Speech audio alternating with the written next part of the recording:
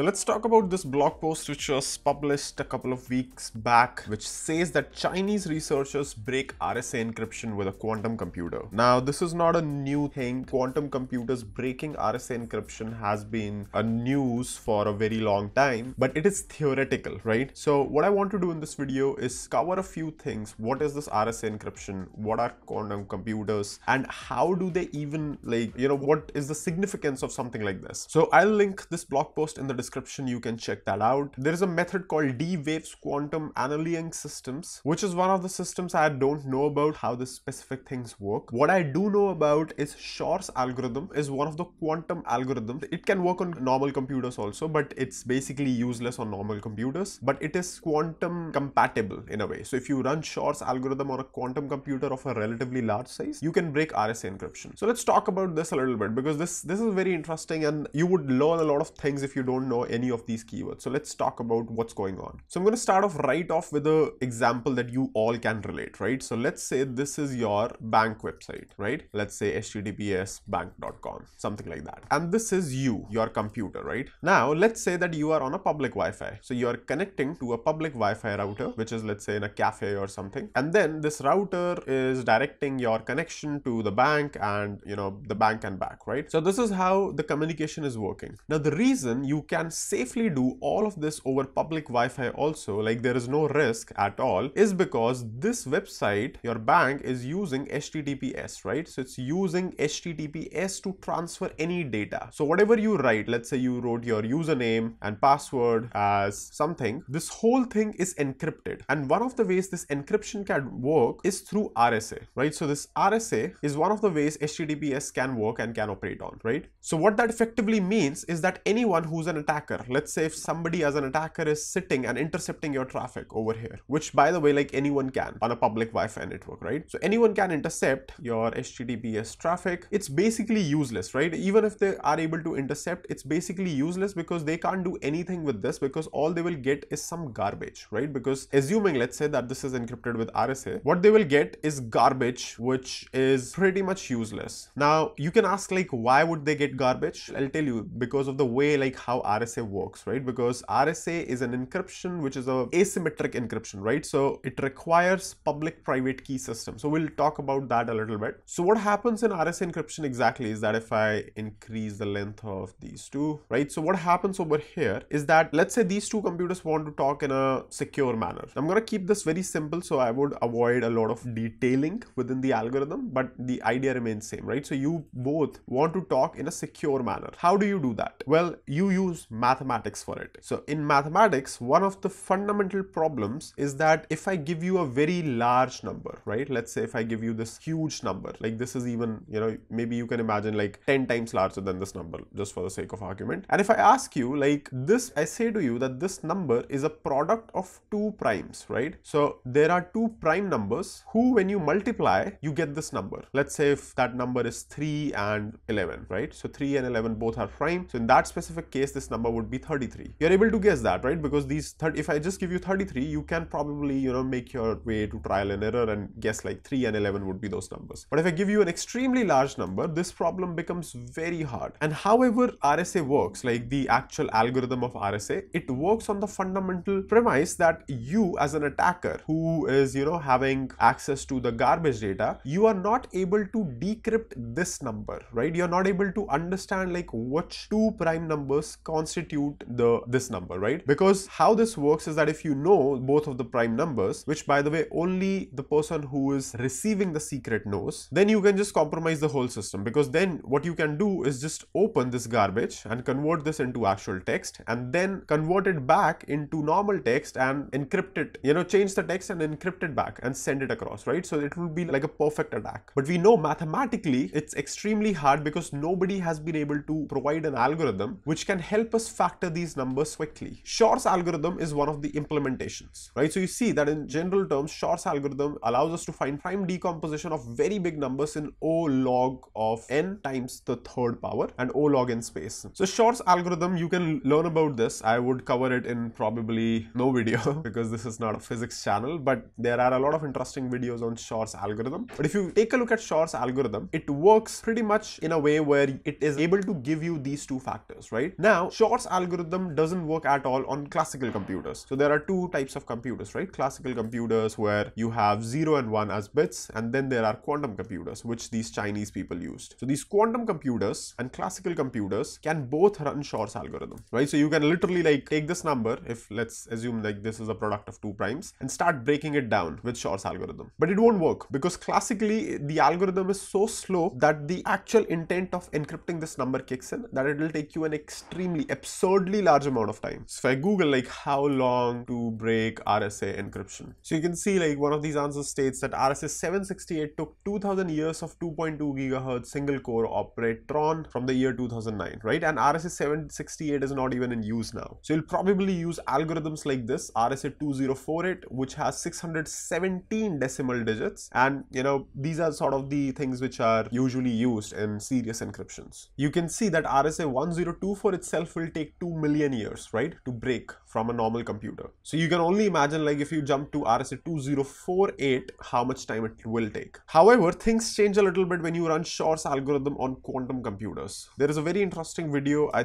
think by Veritasium. Yeah, I think you should watch this video if you are interested. This one is a very interesting video about quantum computers in general, but Shor's algorithm also as far as I can remember. So I'll leave these links in the description below. But anyway, once you have done something like this, once you have run Shor's algorithm, what you can effectively do is reverse this number, again simplified a little bit of details, but you can reverse this number and then you can effectively break RSA encryption. Now, you might think that, okay, quantum computers are not here and you know, we should not be worried yet and it'll take like a few more years or maybe decades to get quantum computers to a place where they can just easily break 2048 RSA encryption as well. And you are right, you may be right, like it'll take a lot of time to get to that point where you're able to do that. But the problem is that meanwhile, what you can do is as somebody who's, you know, a hacker or somebody who's trying to intercept very high net worth communications, you can just store this garbage, right? Who's stopping you from not storing this? The whole security model relies on the fact that you don't have this garbage to break, right? And you will just discard it because you will not be able to break it. But what people can do and what people I'm pretty sure also do is that you can just store this garbage somewhere, right? So let's say if you are intercepting some sort of high level communication between US and India, right? With the top leaders and all of that. And you are able to intercept it somehow, but all of that is garbage because of encryptions. So the year is 2024 and you can just store all of that garbage with yourself and wait for the year 2050, right? Or 2060 when quantum computers become so powerful that they are able to break the RSA encryption used in the past because by that time we will have post quantum encryption schemes, which by the way we already do have. Like if you look at Cloudflare, Cloudflare's post quantum encryption schemes. So you can see Cloudflare now uses post quantum encryption cryptography to talk to your origin server, right? So they did it last year itself. This is also one of the very interesting blog posts which you should take a look at. But what is happening over here is that let's say if you have garbage stored from the actual communication, you can just wait for a few decades and then break all of that communication when you are in 2060. And it's 100% feasible. It's 100% possible also. All the communication probably you're doing on Wi-Fi networks, if it is relevant in 20 years, then you should probably not be doing it, even though like it's secure right now. That's the takeaway, I would say. But yeah, I mean, sure, nobody's like really looking into your data, your stuff, unless you are very high ranking official or, you know, something very critical is happening. But it's something you should know, right? It's something which is interesting, which we don't think about as developers, as people. And this is also one of the reasons you should use Cloudflare, among many others, right? So that's all for this one. I know I did not get into the actual RSA algorithm because I know that there are other videos on YouTube which would do a better job than me explaining that. So I'll link them below. But the basic idea is this only where you have like two primes and then you have like a modular number,